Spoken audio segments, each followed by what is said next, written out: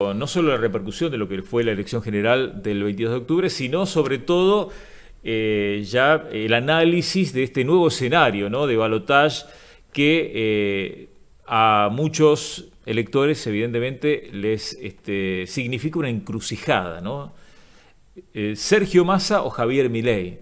Esto generó una crisis en Juntos por el Cambio donde hay diversas opiniones y sobre todo ¿no? este, la decisión de Mauricio Macri y Patricia Burrich de alinearse con Javier Milei, de eh, dejar explícito su apoyo, y eh, el radicalismo que no está de acuerdo. Pero bueno, vamos a hablar ahora con otro referente del radicalismo local, el exintendente Orlando Costa, a quien le agradecemos que haya venido. ¿Qué tal, Orlando? ¿Cómo estás? Muy bien, gracias a ustedes por, por la invitación. En un momento difícil, obviamente, muy difícil. Recién eh, comentaba al entrar que justamente hace 40 años recuperamos el voto y a partir de ahí la democracia como, como sistema de vida, de vigencia de las instituciones, del Estado de Derecho, eh, de la libertad después de la dictadura, con un montón de sueños que, bueno, en nuestro caso, que lo vivimos, eh, que no se han concretado. Nos falta muchísimo eh, para que bueno la democracia tenga mucho más que ver con el desarrollo, con la calidad de vida de la gente, ¿no? De todos. Y porque no es solo votar, es también eh, equidad, igualdad social, en, un país que está con, con muchas dificultades económicas, sociales, 40% de pobres, 10% de indigentes. Bueno, no voy a entrar en, en detalles. Y en un momento crucial, en una circunstancia, eh, si se quiere, eh, eh, rara, ¿no es cierto? Bueno, yo sigo perteneciendo a la Unión Cívica Radical como toda la vida, aunque no esté militando activamente. Y el partido hizo lo que se había acordado, que después de las elecciones, donde Juntos por el Cambio le fue muy mal, entró tercero, un fracaso electoral a nivel presidencial, no en otros niveles. Decidieron que cada partido se reuniera individualmente y después iban a una mesa donde ahí iban a consensuar el qué decir. El radicalismo reunió su comité nacional, los principales dirigentes y declararon neutralidad, entendiendo que habían competido en una elección contra otras dos propuestas y habían salido terceros y este, por lo tanto, el partido se declara, no, apoya a ningún candidato. ¿Te, parece bien? ¿Estás de acuerdo, digamos, con sí, Me, me, parece bien desde el punto de vista partidario. Después está eh, la decisión de cada ciudadano entre los que me encuentro. Yo voy a ir a votar. Vamos a ver cómo viene la campaña y demás, y, sé a quién no voy a votar. Pero bueno, termino un poquitito con esto porque es significativo, Con, el sistema democrático, con la dirigencia, con un poco de lo que venía diciendo. Eh, Macri hizo otra cosa, tomó una decisión individual, la juntó, la reunió, digamos, a, Bullrich, la candidata presidencial, con Milei y eh, directamente apoyo restricto a, a Milei. Eh, pasando por encima incluso de, de, sus propios dirigentes del PRO, que muchos no están de acuerdo y lo han dicho públicamente. Yo todo lo que digo, lo digo por la información que leo, lo que, veo, no, no, yo no estoy adentro. Claro, claro. Eh, de manera que estamos en esta encrucijada que también provoca, leí ayer, que diputados electos de mi ley, de La Libertad Avanza, eh, no están de acuerdo y no apoyan a, a ley en el balotaje. Dice una cosa. Eh, tres diputados de Entre Ríos leí. No sé si hay más, porque se dice que hay más. Bueno, es todo un revuelo todo lo, que ha sucedido, digamos. Eh, que yo creo o deseo que termine en una reconfiguración del mapa político. A mí me parece que acá han surgido también como resultado, todavía no muy evidente, pero ya se va a analizar y con el tiempo se va a ver el, hecho de que eh, hay mucha alianza electoral en la política hoy. Es una democracia muy insatisfactoria para la gente y para la dirigencia también, que después no puede gobernar. Eh, cambiemos. Fue una alianza electoral, no de gobierno. Eh, por cuestiones lógicas, de conveniencias políticas, de cada dos años, de, cómo nos presentamos. Bueno, hace un año pongamos por dar una referencia, nadie dudaba que triunfaba Cambiemos. con cualquier candidato que llevara, se pensaba más o menos así. De ahí en adelante al país le fue mucho peor.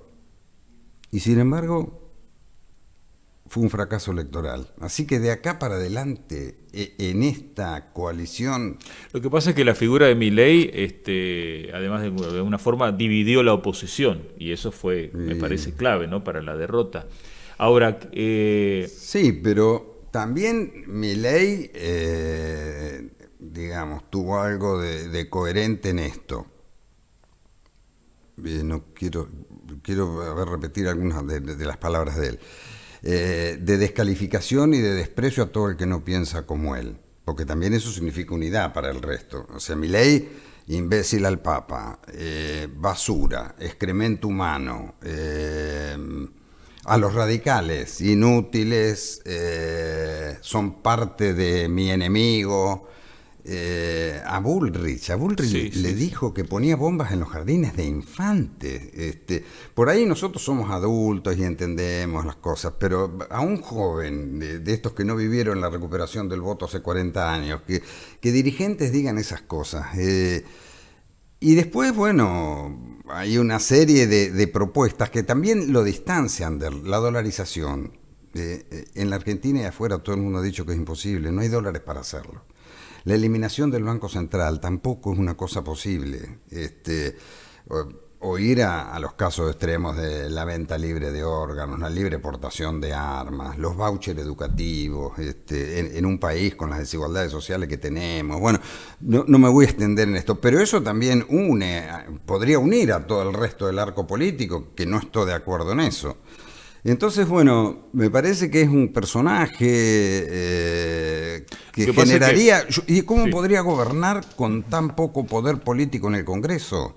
Eh, ¿Cómo nos mirarían de afuera? Un estás adelantando a quién no votarías, porque dijiste, yo ya sé a no, quién no absolutamente no, por mi ley no. Eh, tampoco no voy a decir a quién me voy a votar, pero... No, está bien, pero... Quiero decir que del otro lado del resto del arco político, aunque haya confrontación electoral y diferencias como las hay, eh, hay una serie, hay un conjunto de valores y, de manera incluso de, expresarse. Eh, Porque antes para Juntos por el Cambio el límite era el kirchnerismo, digamos. Hoy digamos, es como que esto es una... Yo tengo mi interpretación, mm. creo que el kirchnerismo también es parte de lo que se viene en Argentina, va desapareciendo. ¿Qué va a desaparecer? Va desapareciendo, eh, tiene mucha menos fuerza, mucha menos potencia electoral. Eh, todo así como... Eh, digamos, Massa no es kirchnerismo, porque si Massa triunfa ahora quedaría muy yo este, empoderado, digamos. Yo lo conozco a Massa. Sí. Massa es Massa. Mm no debería decir esto, pero bueno, como no estoy en la política, Massa no es Alberto Fernández. Este, ojo, no es santo mi devoción, toda la vida critiqué a Massa. Los que me conocen saben que yo lo he criticado siempre porque lo conozco. Eh, pero se viene una etapa nueva en la Argentina, Marcelo. Yo deseo de corazón, y además voy a dar una definición clásica en estos 40 años de democracia. No hay política ni posibilidades de progreso sin acuerdos. El acuerdo en la Argentina está mal visto por la gente, culpa de los dirigentes y tiene mala prensa. Pero sáquense de la cabeza, en la familia, en la escuela, en el trabajo y en la política, para que un país progrese y la gente esté mejor, hacen falta negociaciones y acuerdos. Acuerdos serios a la luz del día en función de propuestas que cada uno proponga y acerque posiciones para encontrar soluciones. ¿Alguien puede pensar que un presidente con estilo autoritario puede gobernar la Argentina con la situación que tenemos y con esto que vos decías de la fragmentación que se produjo ahora, porque saltan pedacitos de las alianzas por todos lados. Imposible, se necesita mucha reflexión, mucha madurez y es lo que yo deseo. Y a nivel local, ¿cómo ves eh, la derrota de Vicente Gatica? Yo no quiero hacer, eh, no voy a hacer leña sobre el árbol caído. Eh, y es desgaste por ahí temprano, en, los dos primeros mandatos. Eh, tuvo una situación muy favorable desde el punto de vista de los recursos, y, pero bueno, te llega el momento, me parece que el resultado electoral de una coalición, porque tuvieron un muy buen gesto después de las PASO, sus rivales, eh, Carla Bruno, Marita Geliti, el radicalismo ya estaba absorbido por Vicente. eh, bueno, ofertaron todos juntos algo que, bueno, no, no, no dio resultado. Y bueno, eh, este, yo tuve un momento con Vicente de colaboración al principio, cuando yo todavía estaba en la política. Él no, este, no escuchó y, y, es razonable porque quería hacer otras cosas y está bien. Y después, sí, fui crítico, pero muy aisladamente porque yo ya salí de la política y no, este, no me interesaba tampoco. Vos pasaste, digamos, por la misma situación, ¿no? De eh, perder, eh, buscando, en realidad, en ese momento era el cuarto el mandato. El cuarto mandato, sí, era mucho. Eh, la sociedad está como dándole un freno, el que por ahí legalmente, por ahí se lo ponen, por ahí buscan una vuelta para que no exista, digo, el tema del freno a las reelecciones indefinidas. No es solo por eso, mm. no es solo porque no quiero que, que, siga gobernando por eso lo he hecho gobernar, es porque también hay una crítica a lo que estás haciendo, o sea, hay un desgaste. Si bien nosotros, dentro de todo, haciendo memoria, nosotros perdimos por poco y con el 46% de los votos. Es decir, que ese electorado que siempre nos apoyaba nos siguió acompañando aún en esa instancia. Pero bueno, la mayoría de la población eligió otro candidato. Eh, creo que son porque hay intendentes que eh, se mantienen, el de Tandil, eh, Pose en San Isidro, cinco mandatos, Barraquia en su momento en Tranquilao. Surro también. sí, claro. Que ganan porque, bueno, están ahí cerquita, la gente los mira, los ve, ve lo que hacen y los sigue votando. así que no es lo deseable por ahí desde el punto de vista institucional. Mendoza tiene cuatro años para todos los gobernantes. la provincia de Buenos Aires es diferente. Pero no es solo eso, es también que no te fue bien o no estabas haciendo las cosas como la gente espera de vos. Gracias Orlando. ¿eh? No, bueno, gracias a ustedes. Bien, Orlando Costa opinando sobre este contexto electoral que todavía seguimos transitando.